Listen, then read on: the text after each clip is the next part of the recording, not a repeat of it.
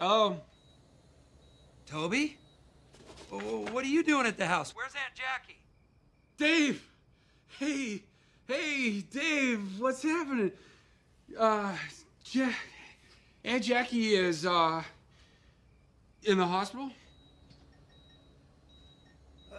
I- I'm a little worried. Who's watching the boys? I am.